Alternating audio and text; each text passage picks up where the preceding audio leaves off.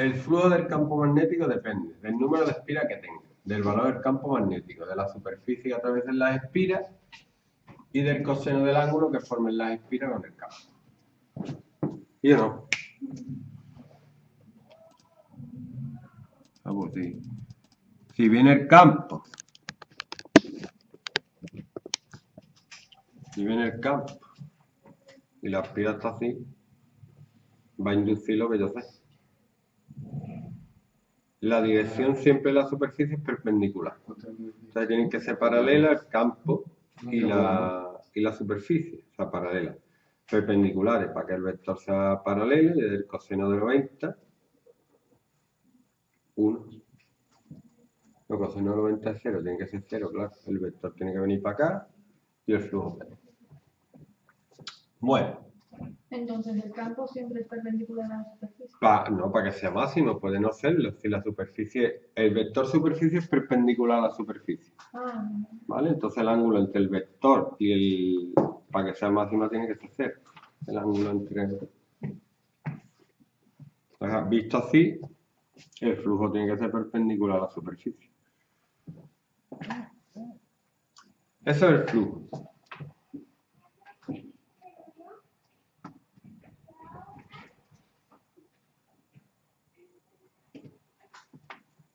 Ahora, ¿qué puede variar aquí? Puede variar el número de espiras, pero el número de espiras no va a variar en el tiempo. Puede variar el campo magnético. Si varía el campo magnético, el flujo es menos diferencial, porque siempre se opone del flujo con respecto al tiempo. ¿Vale? Entonces, la derivada de n por b por s por coseno del ángulo con respecto al tiempo. Claro, si el número de espiras es constante, la superficie constante, coseno de alfa constante, queda n por diferencial del campo con respecto al tiempo por s por el coseno del ángulo. A mí hay uno que me gusta más. Si el campo varía de manera uniforme, no es un diferencial, es un incremento. Entonces aquí hay dos ejercicios. Dice, un solenoide formado por 500 espiras circulares. 500. De 8 centímetros de diámetro. Radio igual a 0,04. Yo eso es lo primero que hago. Luego la gente pone ahí el diámetro y suspende. Y 10 ohmios de resistencia. Está situado en un campo magnético uniforme de valor 0,2. O sea que el valor inicial es 0,2 Tesla y dice que disminuye linealmente hasta anularse, se anula en 0,1 segundos.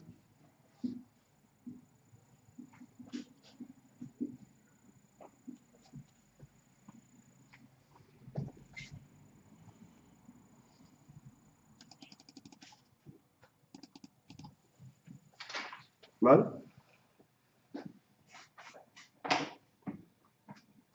¿Cómo que se anula 0,1? Se anula, A ver, se se apaga. Se apaga. Campo magnético, da botoncito, y eso no es automático, sino hay un tiempo que hace como la luz hace. No es, sino que tarda un poquito. Entonces, si te dice que lo hace uniformemente, tienes que usar el incremento, así que no sería tan fácil como esto. Menos 500 por el incremento sería final, que es 0, menos 0,2 partido el tiempo que tarda, 0,1 por la superficie que es pi por 0,0 al cuadrado por el coseno del ángulo que en principio es 0. Ojo, cuidado. El ángulo que hay entre la superficie y el campo. Esta es la superficie, el vector superficie es perpendicular a la superficie el campo. Forma un ángulo de 0.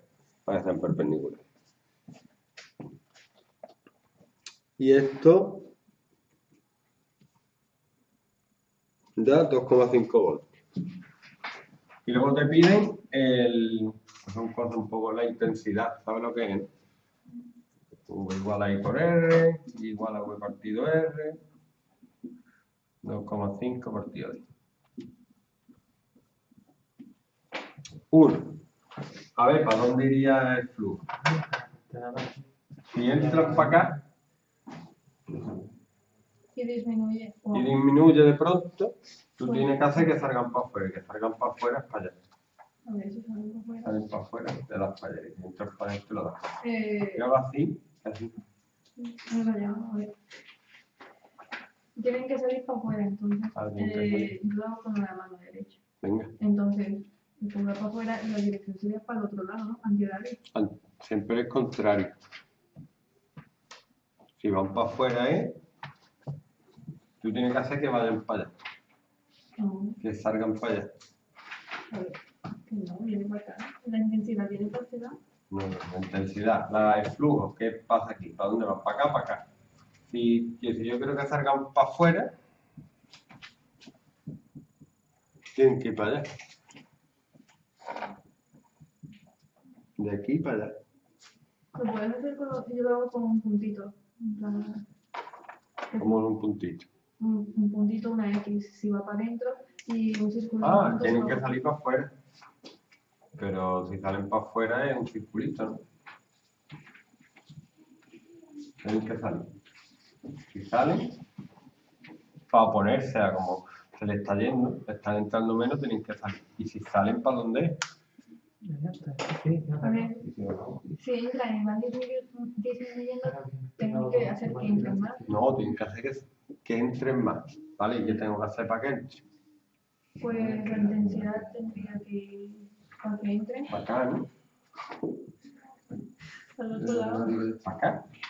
Sí, porque si están Este entrando, sentido horario. sí, porque si están entrando está disminuyendo y se opone al sentido de, Tienen que entrar más. Sí, tienen que entrar más, así que si hago lo de, lo de la mano derecha, tiene que ir horario. Sí, Para allá. ¿Para allá? Si yo me pongo aquí, va para allá. hola. Es que lo estoy viendo desde aquí. De aquí para allá. Así, ¿no? Horario. Es que yo, yo lo hago de otra forma. Tú ¿eh? lo ves al revés. Sí, Bueno, horario, ¿no? Sí, eso es horario. Eso va así. Ya, Hay que salir para allá. Que yo desde aquí. Y yo lo que tengo que salir. A ver. Están entrando Ujú. pues, y van a disminuir porque se apagan. Por eso se está disminuyendo y para ponerse eso tienen que aumentar, así que tienen que entrar más todavía. Y si entran más, pues esto y va horario. Ujú. Sí, vale. Pues yo lo veo así. Yo estoy viendo desde aquí. Digo, para que salgan, ¿qué tengo que hacer? Para allá, para allá. Para allá es horario. El otro, más bonito. Hay uno que es una espira que entra a un campo, poco a poco tienes que decir cómo eh, varía el flujo, se está eh, fuera de espira, en medio y, y casi saliendo. Cuando está afuera y cuando está y cuando está cuando antes de entrar, claro, cuando todavía no ha entrado, antes de entrar y cuando ha salido es cero. Sí. Y donde hay que medirlas aquí, cuando está en medio. Yo no tengo ¿sabes? Y luego está uno que es una placa, que es un rectángulo, y en medio hay una placa que se mueve. Ahora, ahora. Ahí viene ya. Pero aquí son todos. Ah, este, ¿ves tú? Es más divertido.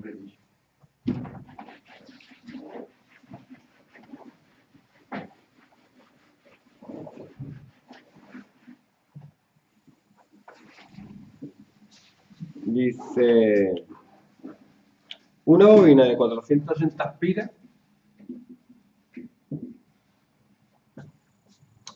de sección circular de 4 centímetros de diámetro otra vez. Cuya dirección coincide con el eje de la bobina. Dios, ten cuidado. Con el eje de la bobina, la dirección. El eje de la bobina es. Tiene que. va ahí, vamos. Que, vamos, el ángulo es cero o, es perpendicular para que se aproveche. Varía según. Este es más divertido.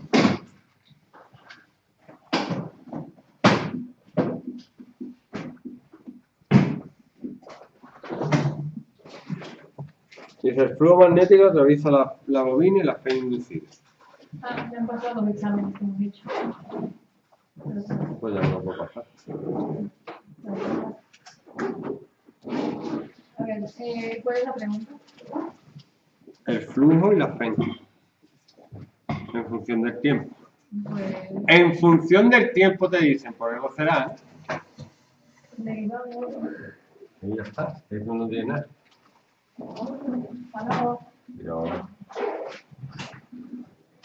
Entonces sería 480 por 0,2. Voy a poner menos aquí. Bueno, esto ya sé que no lo tengo que derivar. No tengo que derivar esto. El 0,2 también. Y el 0,2 también. El de la superficie. Ahora la superficie es pi.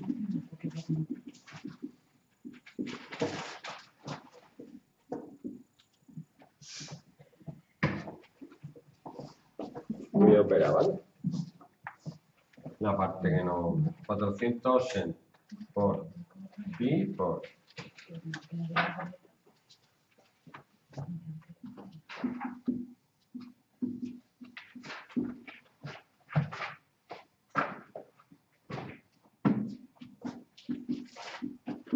Está claro el flujo va en función del tiempo.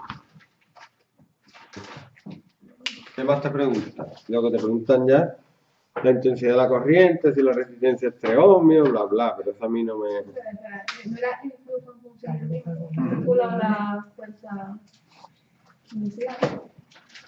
Bueno, el flujo lo tendría que haber derivado, ¿no? Sí.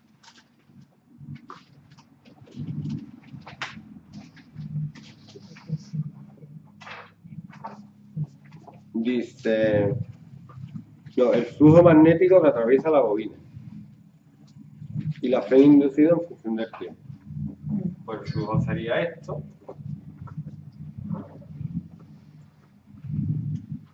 N por 0, pues muy bien. 480 por 0,2 menos 0,05 al cuadrado por pi por 0,02 al cuadrado por 0,9. Para tan fáciles yo ni las hago.